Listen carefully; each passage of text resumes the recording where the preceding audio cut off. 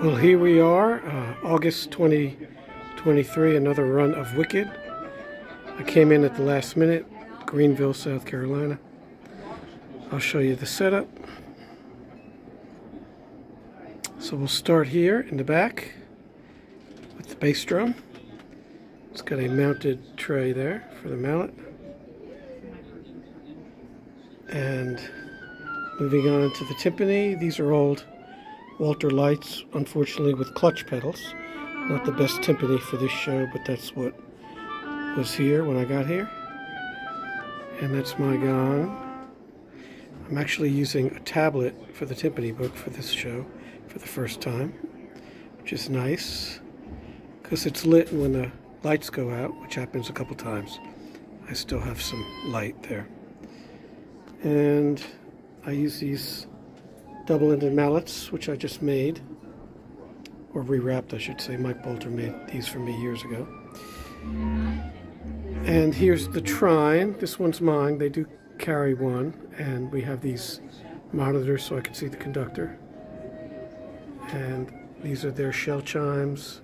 That's their bell there. Happens once in the show. Wind chimes tray. It's a little bit of a mess right now.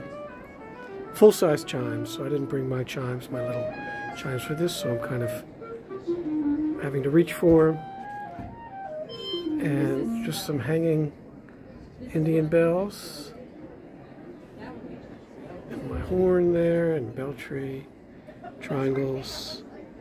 So I'm using for a bell plate, an old Zildjian earth plate. Looks great, got a few of those and suspended cymbal, main stand, which is a rack, and then these vibes, which are Adams, which are fine. The motor is a little finicky, doesn't always work. You have to kind of give it a little push there. There it goes to get it started. Crotales, and my own Glock with a damper, which is important for popular. The way that works is you just put it up, put it down to open it up. Very useful. Then moving to the right, we have another sus cymbal, bongos, mounted tambourine, and then a big tray of stuff, all kinds of stuff. I'm to straighten it up here in a minute. And then a Kelon xylophone, which is important for this show, because you actually have to play with bell mallets quite often. Some quick changes. And finally this contraption in the back, which is a triangle. This is what's called the wand. They travel with this. Shake that a few times. Very small bell tree for one hit, ratchet. And we're back to the bass drum. We also have the water phone, which is here. I bring my own. The one they travel with is not very good. It's an Aquasonic. This is an original one made by Mr. Waters in Hawaii, and it sounds a lot better. And you could see uh, my videos on that if you just search on waterphone. So that's it. Uh, actually, there's a bunch of stuff on the floor. Forgot about that.